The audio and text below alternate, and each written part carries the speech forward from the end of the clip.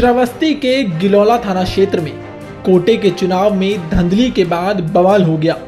इस दौरान दोनों पक्ष से आए समर्थक आपस में भिड़ गए।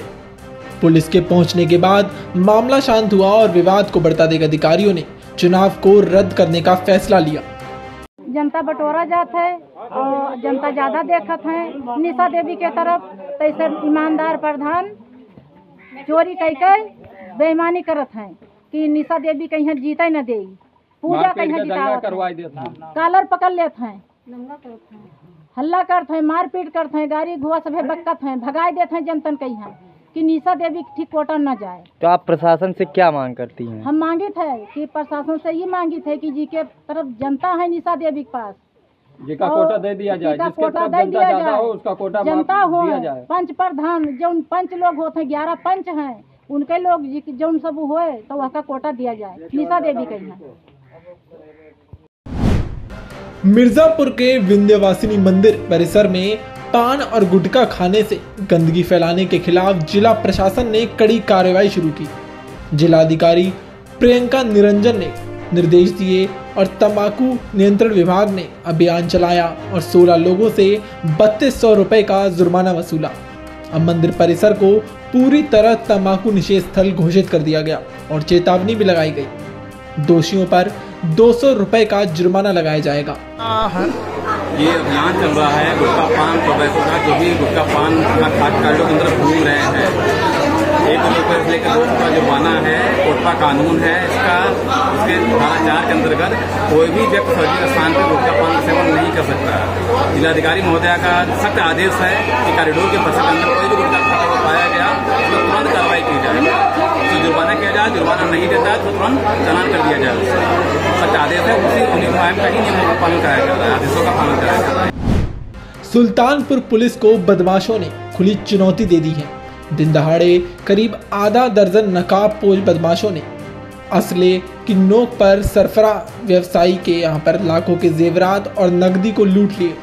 साथ ही खुलेआम पिस्टल लहराते हुए नज़र आए। बदमाशों की इस घटना से इलाके के लोगों में हड़कम मचा हुआ है और पुलिस की इस्तकबाल पर भी सवाल उठ रहे हैं। थाना कोतवाली नगर क्षेत्र में एक चौक एरिया पड़ता है। वहाँ पे भारे ज्वेलर्स की शॉप है, जो ज्वेलरी की दुकान है, वहीं पे आज दोपहर के समय तीन चार लड़के आए।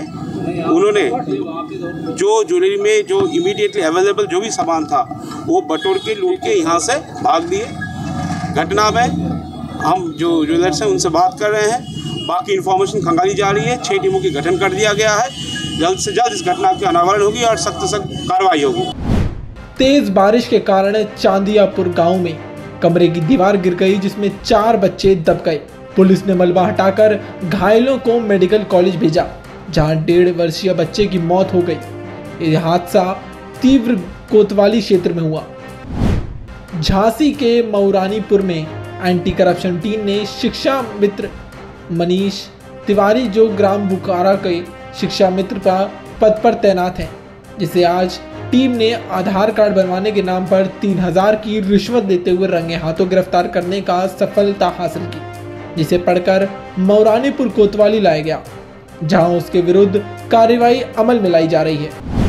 हरदोई के मेडिकल कॉलेज के ब्लड बैंक में एक दबंग युवक ने लैब टेक्नीशियन सर्वोदय सिंह के साथ मारपीट की और उनकी चेन तोड़ दी। आरोपी राजू सिंह की सर्वेंद्र सिंह से पुरानी रंजिश थी। घटना का वीडियो वायरल हो रहा है। जब स्टाफ ने बीच बचाव किया तो आरोपी भाग गया और पीड़ित ने शहर कोतवाली में तहरीर दी।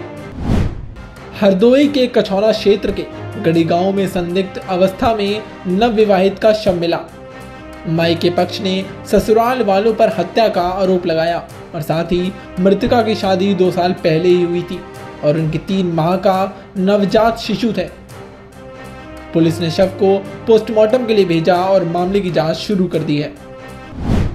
प्रयागराज के अतर सुरक्षा इलाके में मदरसे में नकली नोट छापने की फैक्ट्री का भांडाफोड़ हुआ। मौलवी मोहम्मद, तफसीरुल और तीन अन्य को गिरफ़्तार किया गया और डेढ़ लाख रुपए नकदी नोट बरामद किए गए। ये फैक्ट्री मदरसा जामिया हबीबिया मस्जिद के आलम में चल रही थी। पुलिस ने मुखबिर की सूचना पर छापा मारा और आरोपियों की गिरफ़्तार कर लिया। बिजनौर के गाँव जमालपुर मीमचा में उच्च प्राथमिक विद्यालय में मुख्य अध्यापिका दीपा रानी ने पिछले तीन सप्ताह से बच्चों को मिड डे मील में मिलने वाले फल और दूध वितरित नहीं किया। मिड डे मील के खाते में धनराशि उपलब्ध होने के बावजूद बच्चों को आवश्यक खाद्य पदार्थ नहीं मिल रहे।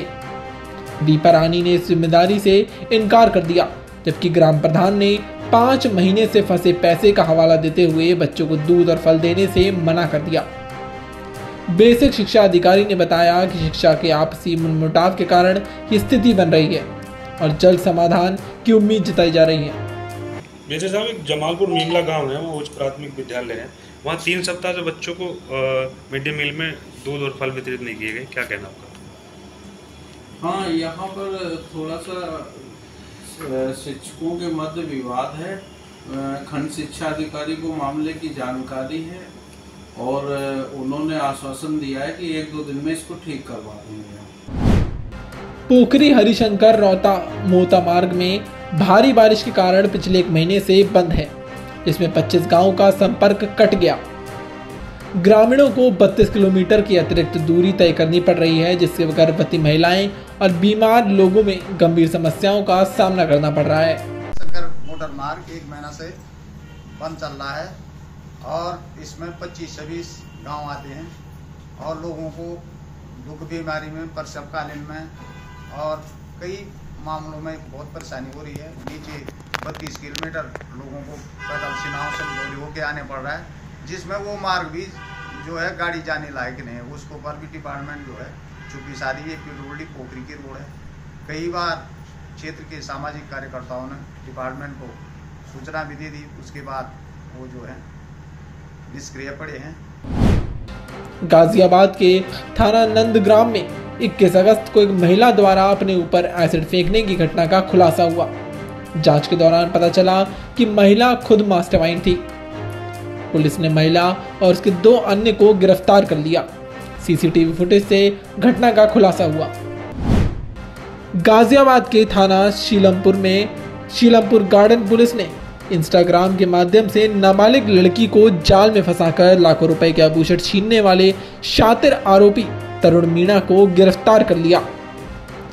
डीसीपी ट्रांस हिडन निमिष पटेल के अनुसार तरुण के पास से आभूषण बेचकर अर्जित किए गए दो लाख पिछहत्तर हज़ार रुपए बरामद किए गए। करीब एक साल पहले लड़की तरुण के संपर्क में आई थी। जिसके बाद वो उसे ब्लैकमेल कर आभूषण माँगता रहा और उसकी तस्वीरें वायरल करने की धमकी देता रहा। थाना शालीमार गार्डन पे वादी द्वारा एक सूचना दी गई, जिसमें उसने बताया कि एक व्यक्ति ने उसके साथ इंस्टाग्राम पे दोस्ती करके उसके फ़ोटोज़ लेके अश्लील फ़ोटोज़ वायरल करने की धमकी देकर उससे जो गहने होते हैं सोने के, वो उससे ले लिए थे। इस सूचना मिलते ही थाना शालीमार गार्डन पे सुसंगत धाराओं में एफआईआर पंजीकृत की गई और उसी के अभियुक्त को पकड़ने के लिए टीमों का गठन किया गया। उसी क्रम में आज पुलिस टीम ने तरुण मीना, जो एक इक्कीस साल का है और शालीमार गार्डन का एक्सटेशन वन का रहने वाला है, इस अभियुक्त को गिरफ़्तार किया गया। जिसने इस